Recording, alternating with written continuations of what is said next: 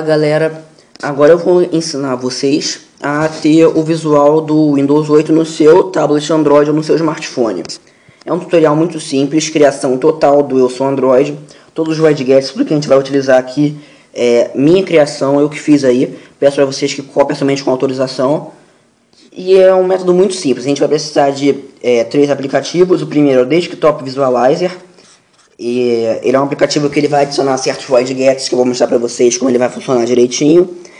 O segundo aplicativo é o Launcher Apex, no caso o Apex Launcher aqui. No, você pode substituí-lo por outro launcher de sua preferência, como o ADW ou Nova.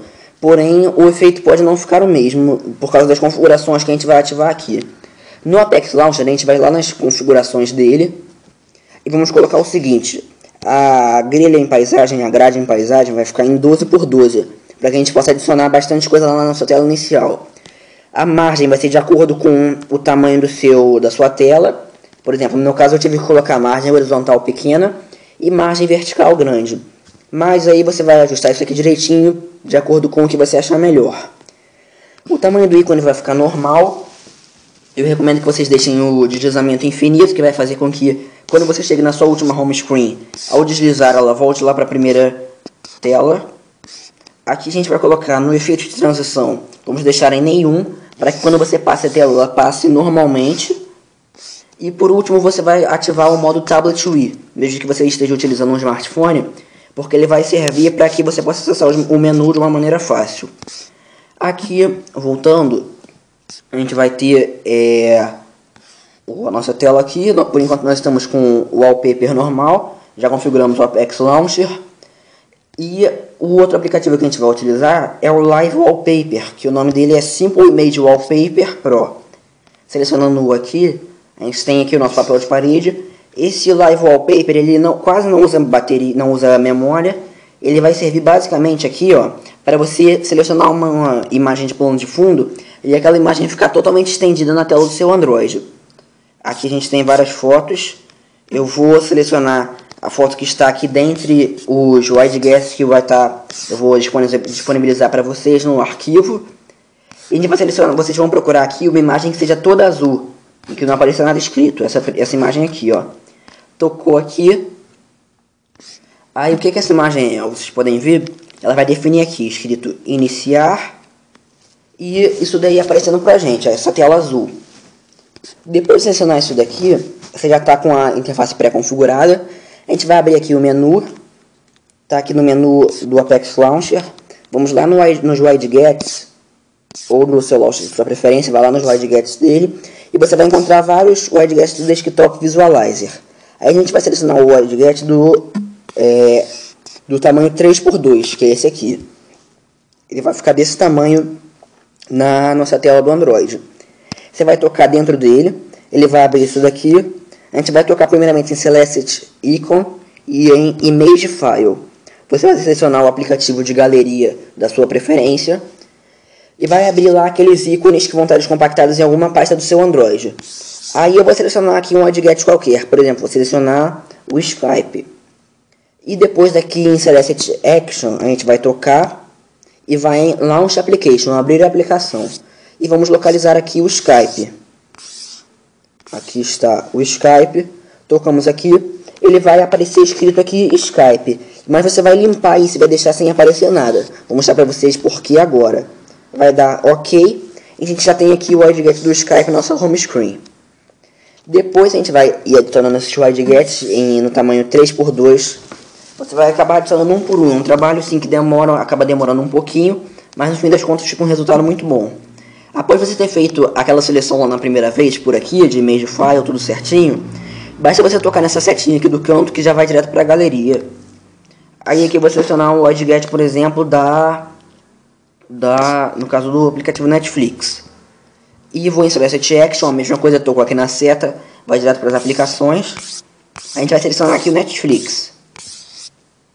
Aí, como eu tenho vários widgets aqui, talvez alguns dos widgets que eu tenho você não vai possuir é, aquele aplicativo ou aquele jogo no seu Android, como no meu caso, por exemplo, eu tenho aqui o widget, que vocês vão poder ver, a imagem do Need for Speed Most Wanted.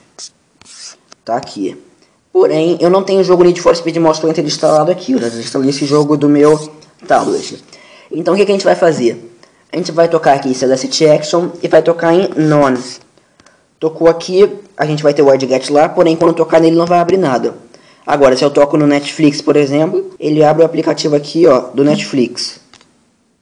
Aí após isso eu vou fechar aqui esse aplicativo. Você vai adicionando o WideGet por WideGet.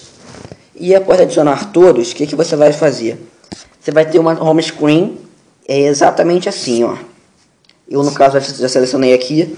Todos os WideGets que eu estou mostrando para vocês aqui, eles estão, é, vão estar disponíveis para download na descrição. No único arquivo RAR que vai conter o Desktop Visualizer, é, o Simple Image Wallpaper, e eu vou colocar os, esses, essas imagens aqui para vocês. Aí aqui, por exemplo, eu selecionei vários, é, várias imagens que estão realmente no Windows 8, que eu não editei, apenas copiei de lá e modifiquei bem basicamente. Aí, por exemplo, aqui no meu aplicativo, deixa eu ver, no meu aplicativo de e-mail, ele abre o e-mail do Android. Assim por exemplo, aqui no aplicativo da loja, o que, que ele vai fazer? Ele vai abrir o aplicativo da Google Play Store. É, no alarme também eu selecionei aqui o, o relógio do Android. Porém, por exemplo, se você não tem um aplicativo de alarme, não tem um aplicativo de relógio, no caso, você vai colocar nono e ele não vai abrir. O antivírus a mesma coisa. Aqui eu já tenho uma tela já mais diversificada com widgets que eu mesmo, com imagens que eu mesmo fiz. Vocês podem comentar aí à vontade, pedir imagens de aplicativos que eu vou postar para vocês. Aí como vocês viram ele abre a home screen. Ela só não fica muito bonita no modo paisagem, né? Porém no, no modo retrato, mas no modo paisagem ela fica direitinho. Aí aqui Facebook, Office, o Eu Sou Android. Como é que eu adicionei esse widget aqui do Eu Sou Android? Eu vim aqui, widgets, aí tá aqui o Desktop Visualizer 3x2. A gente vai aqui, ó, seleciona o ícone, aí eu tenho aqui o ícone do Eu Sou Android. E você vai em Select Action e vai colocar aqui Other. Aí, aqui em Other, você vai ter favorito do Google Chrome ou então do é, então no seu navegador padrão. Você vai tocar aqui em algum deles. Aí eu vou selecionar aqui meu favorito do Eu Sou Android. Vou dar OK. Aí quando eu tocar aqui, no caso ele apareceu com o nomezinho aqui embaixo, como vocês podem ver. Por quê? Porque eu não limpei aquele nome lá. Toquei aqui e ele já vai abrir diretamente o site do Eu Sou Android. Assim você vai fazer como eu fiz aqui com o Saraiva Store e outros aplicativos desse tipo. Espero aí que vocês tenham gostado dessa interface que eu criei. Como eu falei, criação total do Eu Sou Android. Espero que vocês tenham gostado aí do meu vídeo. Não se esqueçam de se inscrever no nosso canal do Eu Sou Android no YouTube. Siga-nos no Twitter e curta-nos no Facebook. Qualquer dúvida, comentem à vontade.